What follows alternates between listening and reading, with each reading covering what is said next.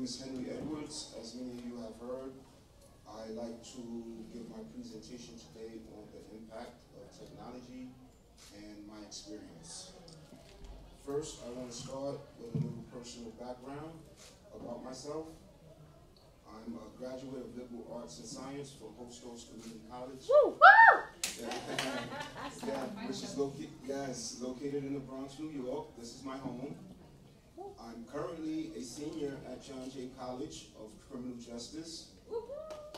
Yes, majoring in human services and community justice, also minoring in psychology. Uh, I'm also a first graduate as a black male college student with disabilities that has been impacted by the criminal justice system.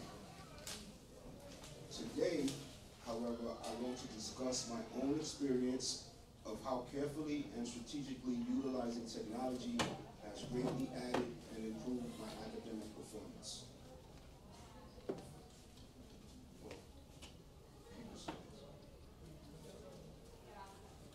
Yeah, that's a personal background. And why is this topic so important to me? Students are facing multiple adversities with extreme challenges, including mental health care, finding affordable housing, and finding a job to have some type of quality of life. The importance of utilizing the Office of Accessibility Service and Wellness Center. Without the Wellness Center and technical support for the from the Office of Accessibility Services for students with disabilities, I would not have graduated. Office of Accessibility Services gave me the tools to reach this point of obtaining a second degree after the devastating loss of losing my partner, which was my mom during the pandemic of 2022. These are some of the tools and resources that were useful for me on campus. Uh, we had WhatsApp, Blackboard Collaborate, and Kurzweil. But there are many more, like Octalet, uh, Green Dragon, Duo, and others. Blackboard Collaborate supported me gradually um, addition of advanced features, providing students with extra time to use other tools efficiently and effectively.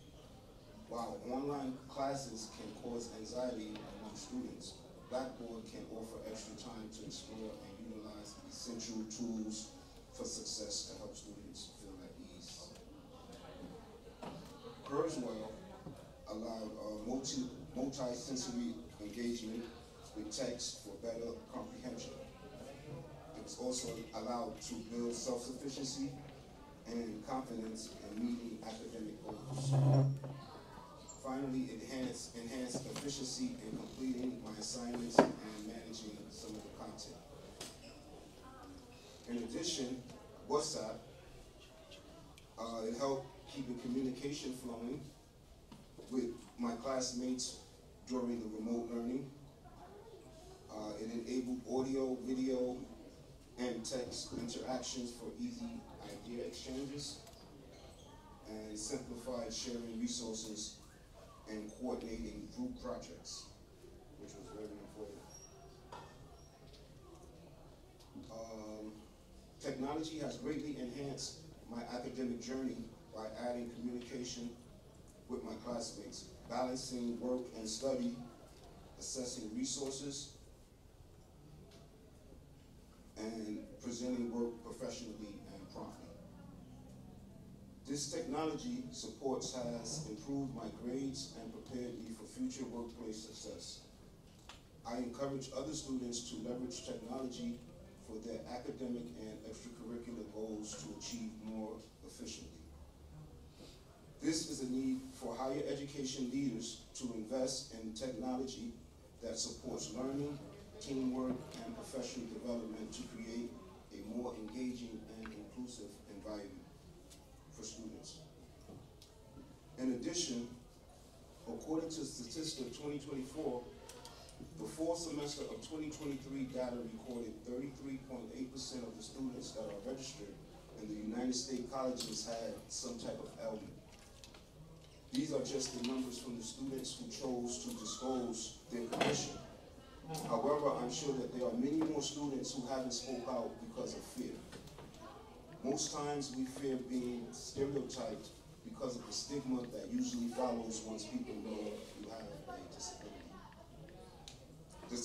Chart provided by Statista is inserted below, and this gives the specific data for each of its targeted population.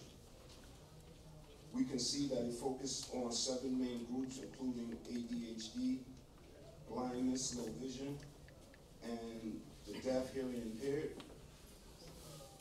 We learned that ADHD had the highest percentage and speech or language disorder had the least.